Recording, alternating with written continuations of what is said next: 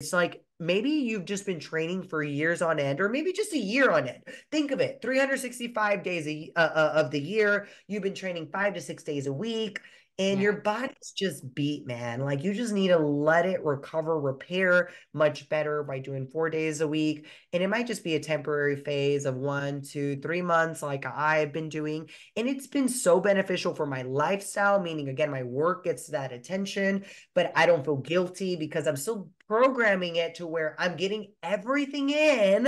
I'm not leaving any muscle you know where behind left behind where they're like not getting the love or getting unattention, right? So with that, I will say my biggest part of mobility training has been higher, meaning I foam roll more. I do a lot of more manual therapy, which is part of my, my therapy.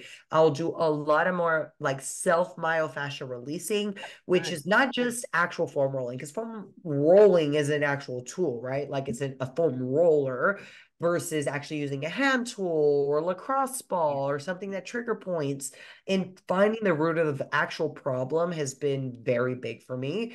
Um, i found imbalances that I, I deep down knew i had i just didn't really want to pinpoint in a way not super obvious maybe